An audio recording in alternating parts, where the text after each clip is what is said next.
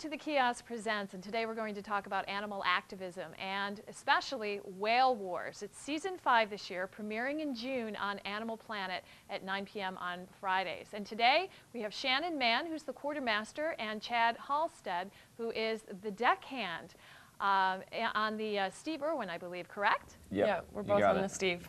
Hi, it's very, very nice to meet you. I have to tell you, I have seen the show and it's really exciting. it's a lot of fun to watch. Um, now, you basically battle Japanese whaling in the Southern Ocean, for those who may not know. Why do you do this? Um, I mean, really, um, the Japanese whaling fleet's going down to kill a thousand whales in a designated marine sanctuary, and at this point, nobody else is doing anything about this issue. So, um, if we don't go down there, um, really, no one's going to do anything about this, and we feel that it's, you know, it's, it's really important. Now, you both have left the comforts, comforts of home for this type of life. I'm sure people occasionally will say to you, what are you thinking? Why are you doing this? You left all the, the creature comforts and you're out on this boat. What's the deal? And, and why would you, what is your passion? Why do you do that? I, I just feel like, I actually feel like I'm the fortunate one that I get to fulfill my passion and go and participate in such um, an iconic campaign, really. We're going down to save sometimes endangered species. Fin whales are an endangered species, and they are part of Japan's quota. Um, so I don't know. I can't. I mean, it's not necessarily as comfortable as being at home and going to the coffee shop, but it's also you're full. You know, the ship is full of fantastic people. Um, you know, everyone's like-minded, and we have a similar passion. So I know. I, I feel pretty lucky to be doing it.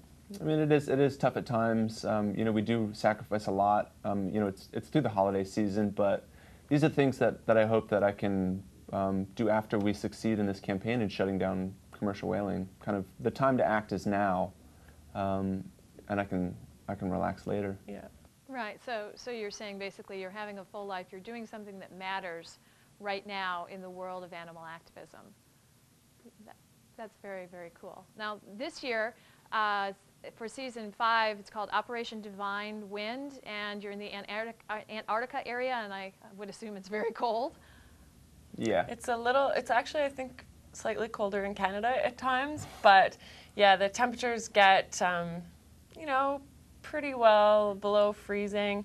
Plus, you have the factor of the storms and the high winds and then the ice. So it's, uh, it's not just cold, it can be pretty treacherous for the Pretty ships down there, yeah. Yeah. Now, I understand that in this season, the scout vessel, the Brigitte Bardot, uh, gets hit by a wave. Can you tell us anything about that? Um, yeah, I mean, it's, um, you know, as Shannon touched on, some of the storms in the Southern Ocean are really some of the worst storms in the world. Um, and unfortunately, uh, the Brigitte Bardot was, was damaged dur- from, from a rogue wave, just a, a very large wave.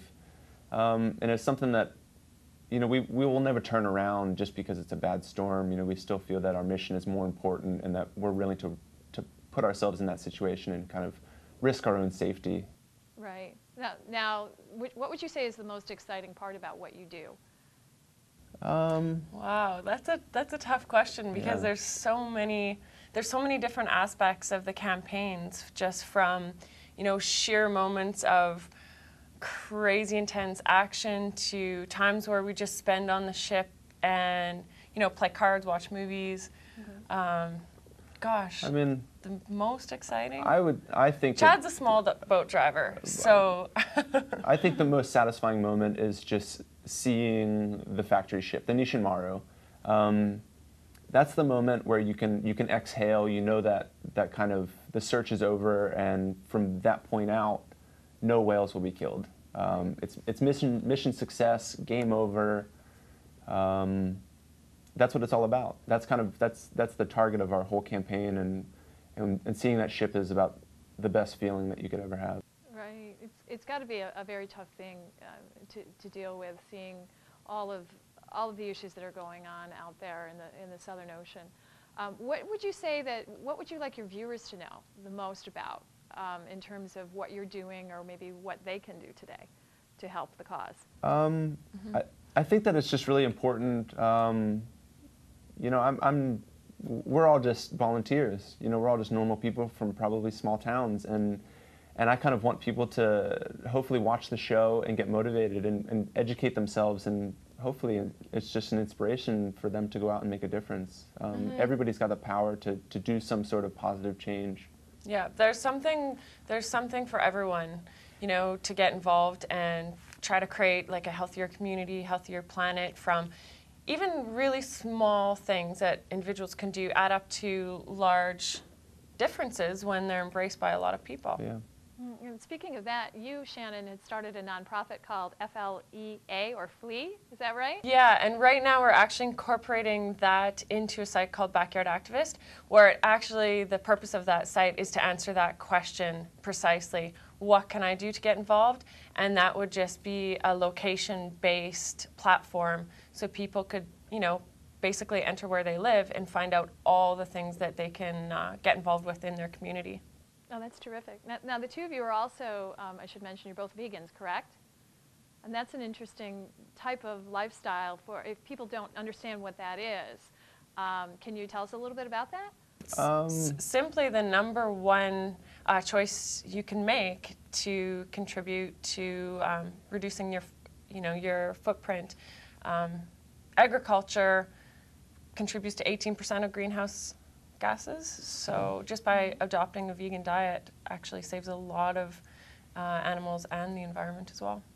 Wow, very cool. Now, let me just ask you one other thing uh, about uh, your dog, because I, ha- I love dogs. You have a dog, Shannon, named Jack, is yes, that right? yeah, I do.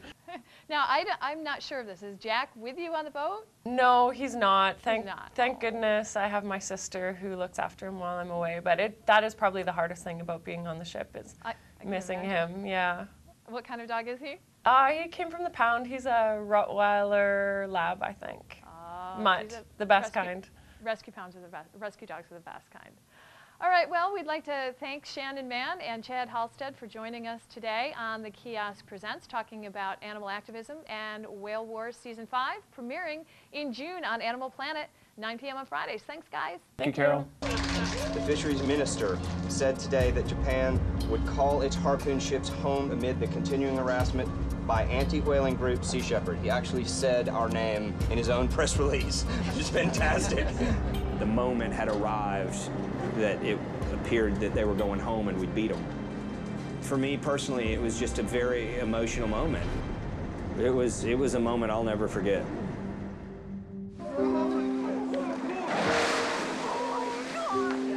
This is pretty much the end of seven years of campaigning down here. I think that this is the century that we're going to find whaling will be tossed into the dustbin of history and left for what it is antiquated, unnecessary, barbaric, uncivilized, and no place in the modern world. So thank you all for, for participating. Thank you for this success.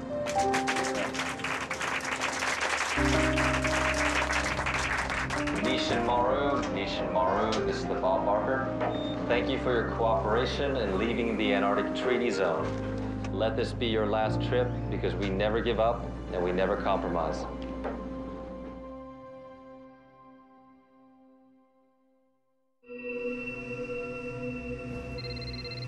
Guys, Paul here. There's a lot of movement on the docks. You can see it from where you are right now. Eh? You don't have any police or anybody tailing you? No. How many crew do you see around there? They look like they're working on the boat? Yeah, they're on the move. Okay, we'll see where it goes.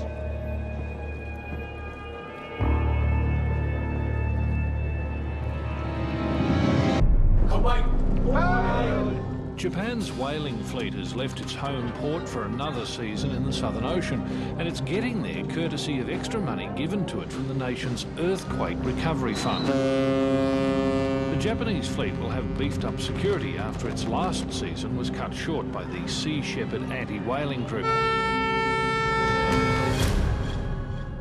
As word of Japan's return to whaling spreads, the Sea Shepherds are stunned to learn that their war is not over.